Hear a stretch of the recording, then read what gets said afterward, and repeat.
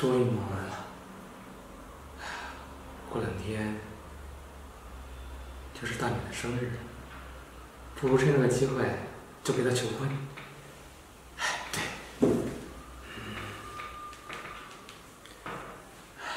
喂，姐。怎么了，弟弟？啊，我想问你个事儿。什么事啊？你说。啊，是这样的，这过两天啊，大美过生日，我想呢，趁这个机会啊，跟她求婚。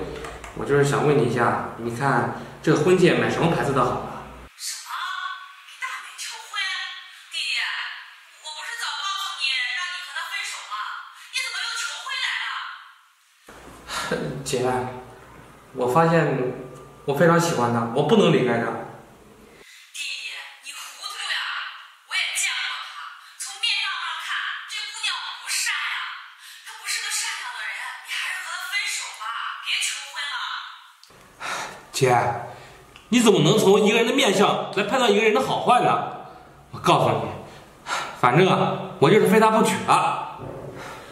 弟弟，你就听姐的，行不行啊？姐，咱们话不投机，就到此为止吧。就当我今天啊没有给你打个电话。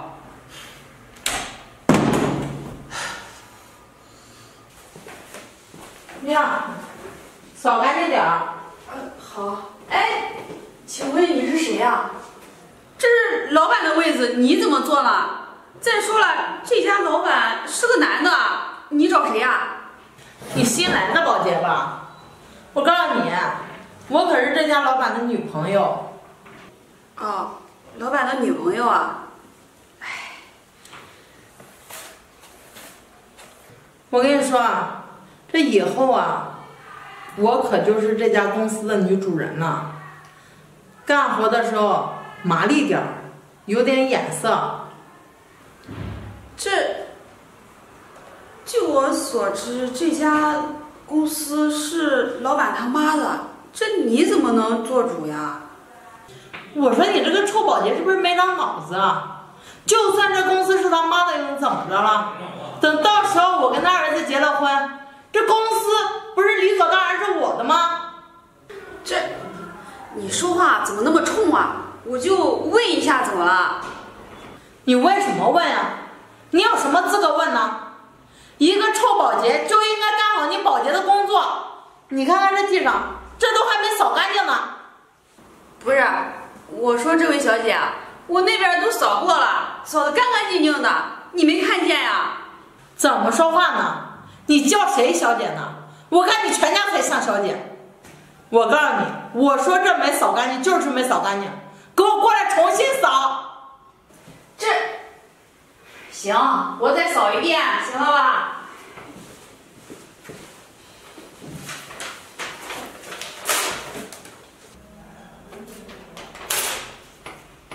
哎，我说姑娘，你怎么乱扔垃圾啊？再说了，那桌子上的东西你能动吗？万一是重要文件怎么办呀？怎么着？我就乱扔了，你能把我怎么着呀？啊！我都告诉你了，我即将是这家公司的女主人，我想怎么撕我就怎么撕，谁让你多管闲事了？哎，我说姑娘，我什么时候多管闲事了？再说了，这合同什么的你能撕啊？我告诉你啊，你能不能进这个家的门啊？哼，还不一定呢。看见你说话那么强势，一点都不善良。呀，你一个臭保洁，你好大的胆子啊！啊，怎么着啊？多管闲事啊？谁进不了他家的门儿？你再给我说一遍。我说你这姑娘怎么能动手啊？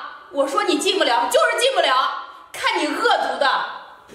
还敢说我是吧？还敢说我恶毒？我让你说，说打我啊！对啊，李大美，你干嘛呢？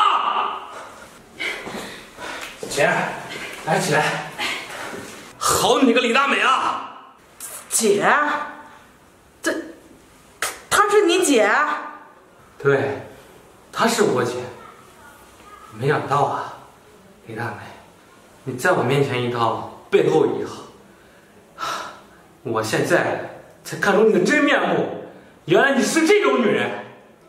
弟弟，我早就告诉你了，哼，你还不相信？现在你看到了吧？小白，你听我解释，这我和你姐这都是误会。误会？误会什么误会？刚才你的所作所为，你怎么对我姐的，我都看到了。小白，这里啊就交给你了，赶快处理好。行姐，李大美，我告诉你，你呀，立马消失在我的眼前，我永远不想再看到你。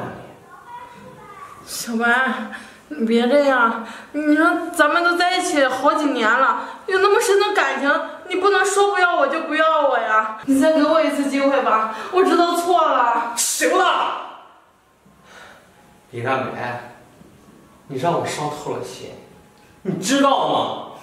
我姐当时说你面相不好，凶神恶煞，我还不相信。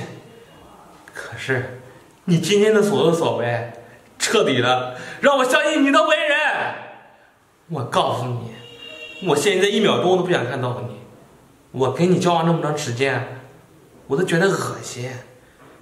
以后你有多远滚多远，不要再出现我的面前。你还杵在这干嘛呀？别装出一副楚楚可怜的样子。我告诉你，你就是给我跪下，我都会原谅你。现在赶紧滚出去，明白了吗？